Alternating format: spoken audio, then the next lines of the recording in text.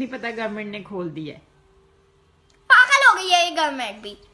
भाई बस अब रूटीन में बड़ों आया को इंजेक्शन लगवा लिए कोरोना की? हमें थोड़ी लगी है टाइफाइड के अलावा कोई इंजेक्शन अब खुल गया है फातिमा अब तो जाना पड़ेगा। मैं नहीं जाऊँगी मामा।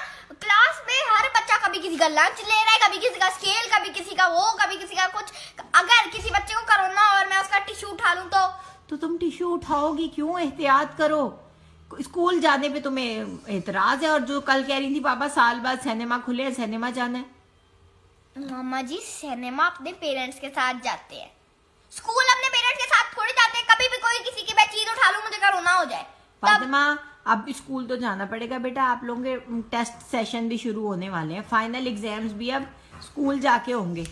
मम्मा यार अच्छा ऑनलाइन चल रहा था यार पेपर भी ऑनलाइन थे पेपर पेपर में मैं गूगल ही इस्तेमाल करती थी अब उधर जाके क्या करूँगी मैं तो लिखना पढ़ना भूल गया है इसीलिए तो कह रही हूँ कि स्कूल जाना शुरू करो तुम्हें कुछ लिखना पढ़ना आए। पता चले फेल होके बैठी हुई हो। मम्मा जी अभी क्या खोलने की ज़रूरत है हर बच्चे के दिल से आम निकलेगी सारे बदुआएँ देंगे नहीं बदुआओं की ज़रूरत नहीं है। स्कूल जाए अपनी रूटीन में आए। बेटा आपका तो इतना स्कूल में दिल लगता था अब क्या हो गया आपको?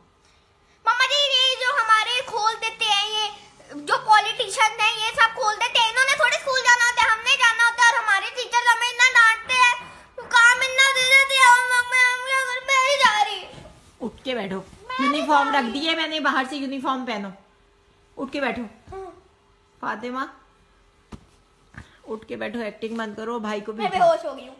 भाई को भी उठाओ खुद भी उठो। फातिमा मुझे बिल्कुल एक्टिंग तुम्हारी अच्छी नहीं लग रही। ओ मम्मा आने जा रहा है।